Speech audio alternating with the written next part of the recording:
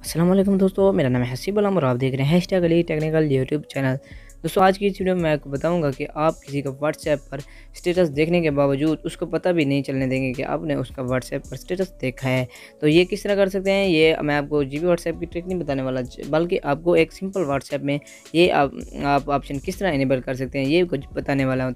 तो बिना टाइम से अपनी वीडियो को स्टार्ट करते हैं।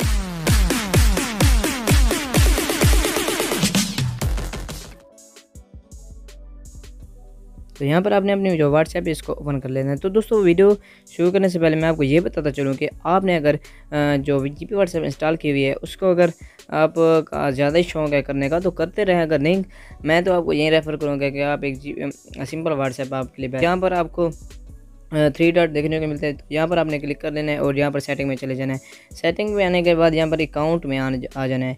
अकाउंट में जैसे आप आते हैं तो यहाँ पर प्राइवेसी का एक ऑप्शन आपको देखने को मिलता है। यहाँ पर आपने क्लिक करना है और यहाँ पर मेन चीज़ समझने की है कि यहाँ पर आप देख सकते हैं रेट डिस्क्रिप्शन यानी कि आपने अगर कोई चीज़ देखी है रेट की है तो उसका जो नोटिफिकेशन जैसे ब्लूटिक चला जाता है तो वो अगर ये ऑप्शन आपका इनेबल है तो उसको पता लग जाएगा।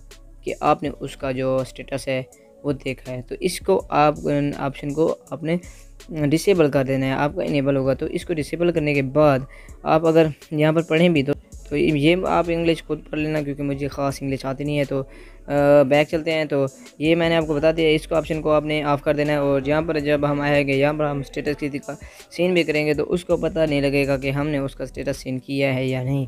तो ये थी हमारी छोटी सी वीडियो आज की तो अगर आपको हमारी आज की वीडियो पसंद है तो वीडियो को लाइक और ज़्यादा से ज़्यादा शेयर करें और चैनल को सब्सक्राइब करना बहुत thanks for watching my video